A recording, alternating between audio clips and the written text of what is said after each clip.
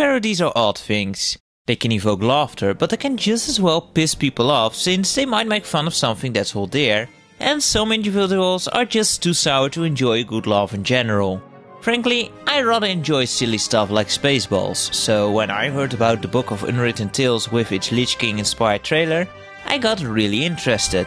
Now that I have had the chance to play through this point and click adventure game from the small German developer KingArt, I can tell you that I'm very impressed with the game and that I haven't had so much fun with the game in a good while. The biggest accomplishment of this game is that it's written so well. The story itself isn't even all that great, there's a big war going on between the Alliance and the Shadow Army and there is an artifact of great power that can decide its outcome. You guide along three unlikely heroes and a couple of pets, with the eventual goal of keeping this artifact out of the clutches of evil. Artifact? It? This is getting more and more cliche. Cliche? The struggle of good against evil is never cliche. So yeah, pretty cliche. But it's the way the story is told that makes it really work. The characters are believable, likable, and overall just a lot of fun to interact with. This is also helped by the top-notch voice acting in the game, which was a very pleasant surprise. The translation from German to English is handled very well, and the British actors did an amazing job easily delivering better voices for this budget title than many supposedly A-grade games out there. As you have probably already gathered by now, this game is not to be taken seriously and is one gigantic spoof of pretty much anything fantasy related. The biggest franchise to function as a model for this satire is World of Warcraft.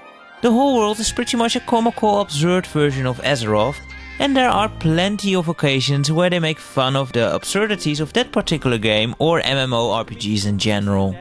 But it doesn't stop there, the game will offer you many outlandish situations that can be quite funny.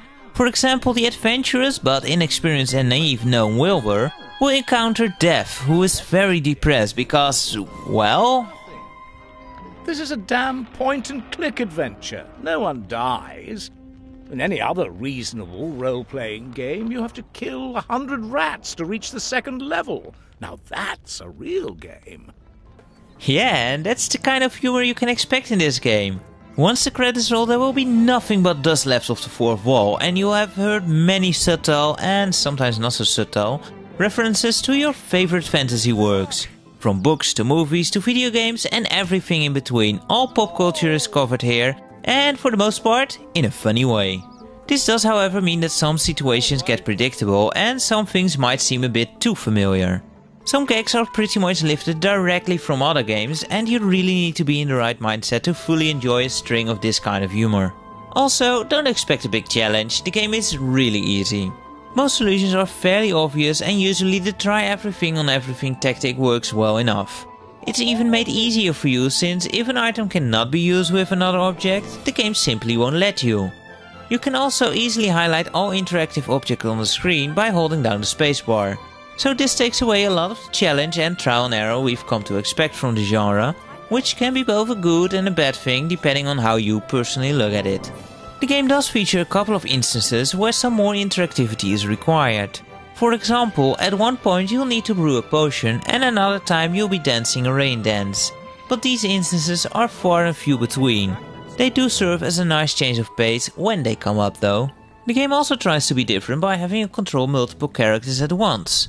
In a couple of instances you can switch between characters and you'll need to use their specific skills or trade some items but the game never fully explores the possibilities of this concept and I was left with the feeling that they could have easily come up with some more really fun puzzles with these mechanics.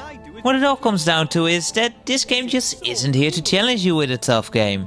It's here to entertain you and it certainly did just that for me. Rarely can a game make me laugh out loud, but this one managed it and at multiple occasions at that. It's also a fairly long game, consisting of 5 big chapters. The sudden ending still came as a total surprise though.